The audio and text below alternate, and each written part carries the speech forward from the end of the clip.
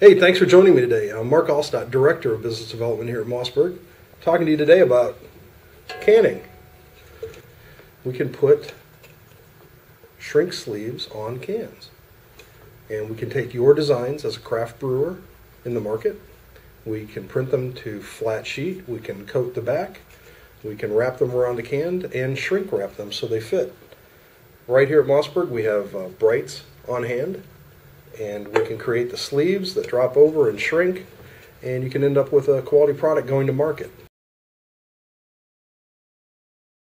Oxygen level. When you get oxygen into beer, it makes it go stale and flat. That's no good for anybody. So, say you go to that party and somebody taps a keg, and then a couple days later they go, Hey, I still got a bunch of beer left in this keg. Come over and help me drink it. Well, you know that flavor that comes out of that keg? Chances are they tapped it with an air pump nozzle, and that's oxygen getting to the beer. That's not a good flavor. The durability of a can is better than a bottle. Now you're at a bonfire and you're having a brew, and your buddy says, Hey, toss me a beer. Don't toss a bottle, it's not good practice. Choose a can instead. And then there's light. Beer abhors light. Don't get your beer exposed to light. It tends to get skunky, and skunky beer is no good. You know, getting a can decorated, that is screen printed, Coors Light, Bud Light, that kind of thing. You have to buy hundreds of thousands of those cans. And we can come to you with a, a piece as small as a thousand pieces at a time.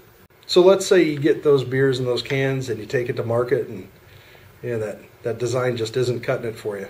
So instead of having a hundred thousand of those screen printed cans that you can't get rid of, you can change the label, change the sleeve, and redecorate your can.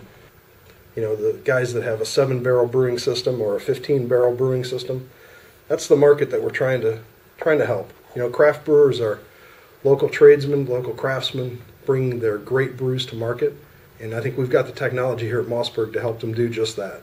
Mark Alstott, Director of Business Development here at Mossberg. Thanks for stopping by. Remember to reach out to me through the Facebook page, the Twitter page. Now we have Instagram or through the website.